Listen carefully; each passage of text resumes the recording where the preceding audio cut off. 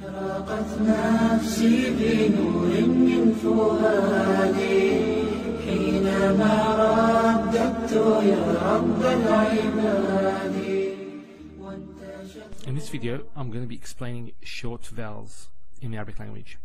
Unlike uh, English, we have in English we have five vowels: a, e, i, o, u. In Arabic, we only have three, and they are what what is known as fatha, dhamma, and kasra. So let's let's first of all just um, understand how they're written. So in front of us we have the, the letter fa, and when we add vowels in Arabic, it's different to English. We don't add them after the letter. We add it on top of the letter. So fatha will be written as follows. It's written with a line on top.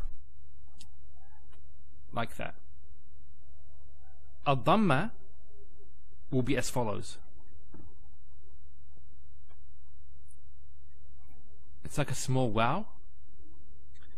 And we have the kasra, which is like a fatha, but on the bottom. So let's assume that this is the line where we write. The fatha would be on top of the letter. Dhamma would be on top as well. And kasra would be on the bottom. So fatha, dhamma, kasra. So that's just the terminology, and inshallah we'll find out how they're actually pronounced. So we have the first the first harakat, which is fatha. Now, for example, when we say the word cat, notice the a sound. A. It's a a sound. Cat. A. That's the same sound of a fatha. Now, we have here, I've transliterated cat into Arabic. So we have the kaf here, so it makes the same sound, the k sound. And then we have the, the ta, which is equivalent to the t in English. So this says cat. So notice the vowel is on top, not after it, as in cat and obviously in English we write from left to right, while in Arabic we write from right to left. So in English, when we read a word, we read it this way. In Arabic, it's actually upwards like that. So we read the first letter and what harakat it has first, the second letter, what harakat it has, and so on. Now, similarly, um, back, the word back so it's the same sound, ah, back. Now, just something to note is when we say this sound, the ah sound, um, you'll notice your mouth is open, wide, ah, ah. Now let's just practice. We have here a word in Arabic. So to pronounce this, we have three letters here. We have the, the jim, which has the j sound. Like, for example, the word jeep, or jog, or Jupiter. So, j, it's a j sound, and there's a fatha there. So this will be pronounced as ja. Then we have the lam here. That's equivalent to the letter L in in English. Like the word look. To pronounce the lam with the fatha, it's la. So ja, la. And then finally we have the sin. That's equivalent to the the S sound in English. So this will be sa. So ja, la, sa. Jalasa. So jalasa means he sat. And notice we don't elongate. There's no elongation of the ah sound. So when we say ah. Like in, for example, when we say the word car. Car. It's car. It's not car. So this will be one syllable. That's another syllable. and that's another, that's another syllable. So there's three syllables: ja, la, sa. Now here, when when we say car, there's there's a there's an elongation. That's a diff, that's written differently, and we'll explain that later on, inshallah. Just to note, it's just it's a quick sound. So just ja, la, sa, jalasa.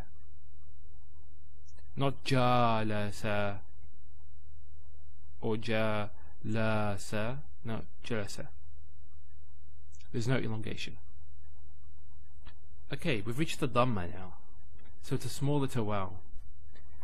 What letter does a Dhamma make? It's like the word book. Although there's two letters, both of the, um, there's two O's. Although there's two letters here, it's pronounced like a Dhamma. Unlike, for example, the word uh, choose. So when you say choose, there's an elongation there.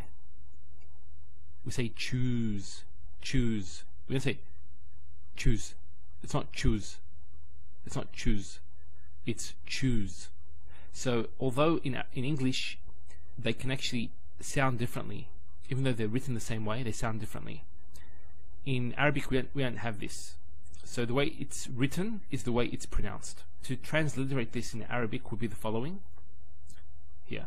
So we, it's this is the ba and we have the dhamma. And you'll see this it's going like this. That's just the way it's written. It doesn't really matter if it's like that or like this. It's the same thing. So just one point note there. That's just the script. That's the way the script is. So that's a bat with a dhamma. Notice when I say dhamma, it's very important. Some people actually they they say they don't say it with a with a dad. They say it with a dal. So they say dham dhamma. It's not dhamma. It's dhamma. Uh, maybe um, non-Arabs will find this hard to pronounce, but that's inshallah as you uh, progress in your Arabic studies and when you actually learn the the uh, rules of pronunciation, uh, you will improve on that inshallah. We have here the ba with a dhamma, followed by the kaf, which is the the k, the k sound. So here it's pronounced as book. This letter alone with the dhamma would be bu, bu. So book. Similarly, we have the word in English put. It's put. So there's a u sound. That represents the sound that a dhamma makes. Put. Now I didn't transliterate that put because actually there's no p sound in classical Arabic. Those in um, in Iraq, for example, they actually use the the p sound, but actually it's not in the original um, in classical Arabic. So usually when, when you pronounce something with a P, it's represented by the ba. Usually. Now let's just uh, practice this. We have a word composed of three letters. Both the first two letters are actually with a dhamma. There's a sin. So we have, if we break this up, there's a sin with a dhamma. Then there's a ba with a, with a dhamma. And there's the lam. So to pronounce this, this is has a S sound. So su, and this is the like the letter L. So subul, subul.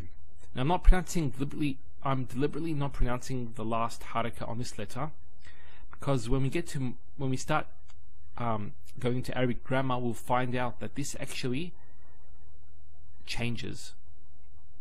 It's the same word, it will be the same word, but the last letter, the haraka or the vowel on the last letter will change depending on the word's function in the sentence.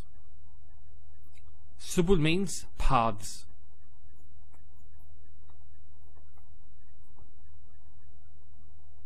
And that's the the plural of the word sabil. Sabil is a path.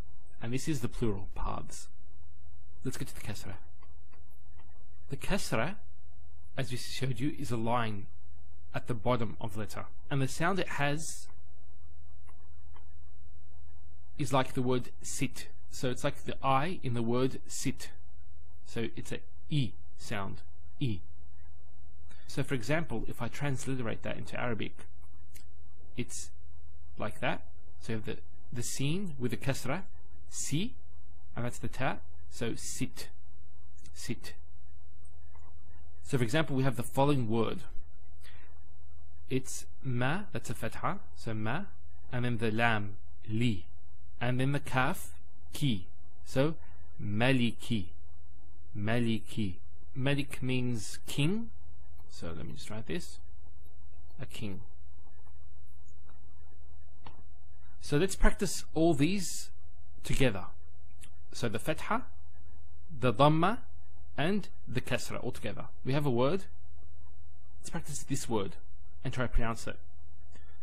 So we have here the kaf with a dhamma. So that would be ku. Then we have the ta with a kasra. This would be ti. And then the ba with a fatha would be ba.